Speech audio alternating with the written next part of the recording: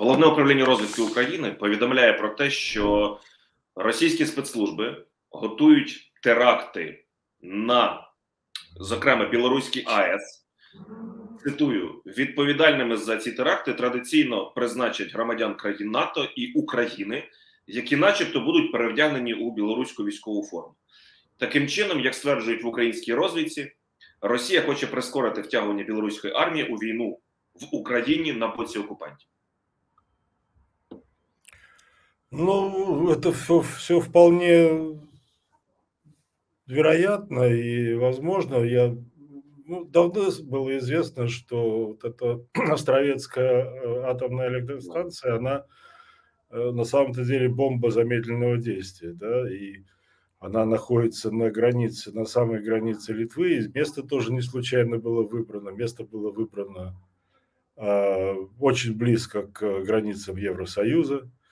И поэтому это действительно опасная очень э, ситуация, и э, все это может э, случиться, тем более, что еще одно глупое решение принято, то есть такое опасное, что ядерные отходы будут захораниваться на территории Беларуси тоже. То есть это тоже, как сказать, материал для грязной бомбы, как называют эту бомбу, начиненную отходами. Поэтому я считаю, что нужны, ну, то, что вы, вышла эта информация, это очень важно, нужны действия по тому, чтобы предотвратить. То есть предупрежден, значит вооружен. Нужно сейчас, э, сейчас активизировать МАГАТЭ, нужно требовать мониторинга э, безопасности э, атомной станции. И такими мерами, в принципе, можно отодвинуть вот эти провокации. Я от просто думаю, а невже для того, аби втягнути білоруський режим і армію Білорусі в цю війну, ну вже в іншій формі, так з присутністю регулярної армії Республіки Білорусь на території України. Невже для цього потрібно вигадувати якісь сценарії, якісь е, там теракти і так далі, і тому подібне? Ну фактично, все залежить від Путіна, як мені здається, дав вказівку. Лукашенко згодився або ну не згодився, будуть інші методи, коли він може згодитись на це, так хоче він цього або не хоче, і так далі. А що ну Лукашенко пручається зараз, чи все залежить навпаки від самого білоруського народу, який проти в переважній своїй більшості э, втягування білорусів у війну в Україні?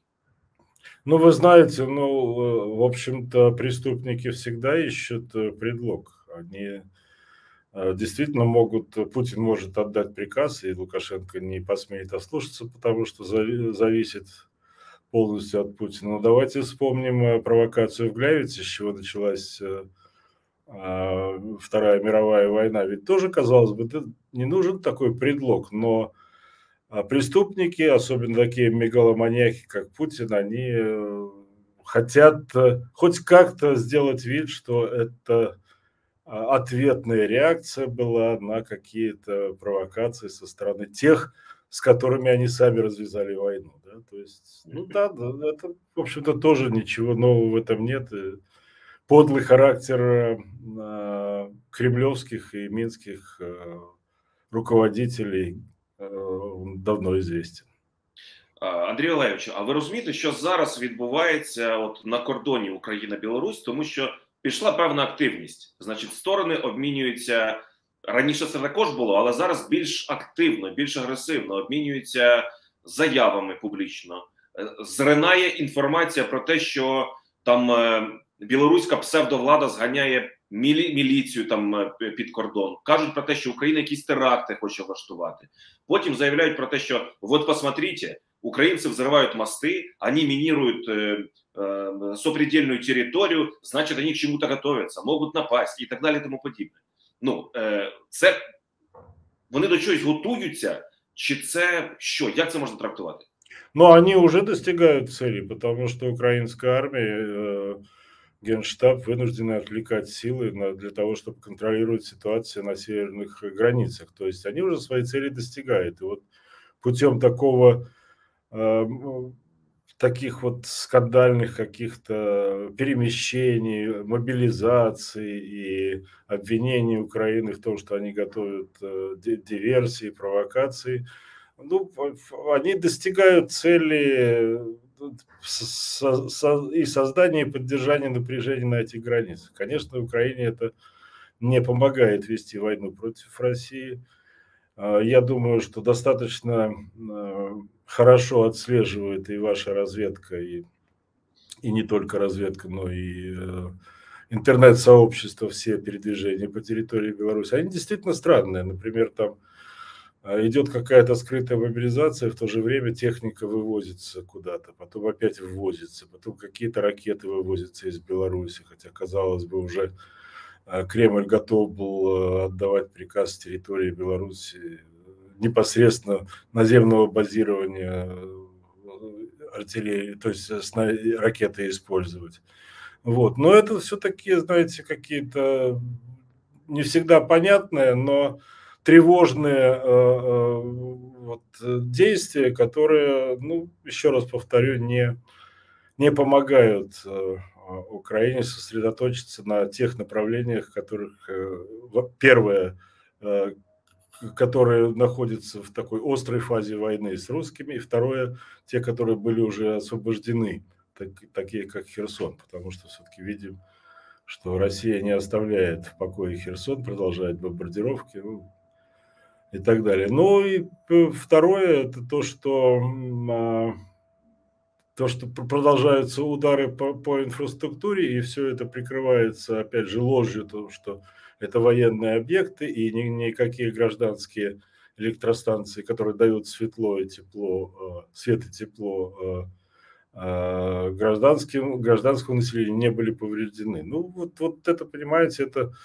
то, что называется сопутствующее войне действия а, агрессора, которые нарушают все нормы поведения, определенные Женевскими конвенциями и прочими міжнародними документами.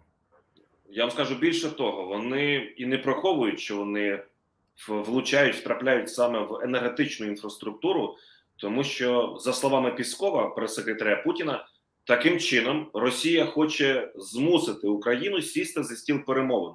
Ви знаєте про те, що вони в будь-що зараз намагаються всадити Україну за стіл перемовин. І ось ці розмови, які зараз точаться і в західній пресі, західна преса почала про це писати, і вояжі, візити, наприклад, того самого Джейка Салівана, спочатку Москву, потім в Київ, і зустрічі в Анкарі, наприклад, Наришкіна і Бьорнса. Так, от вони вам особисто про що говорять, тому що от я це сприймаю так би мовити, з насторожностью, знаете?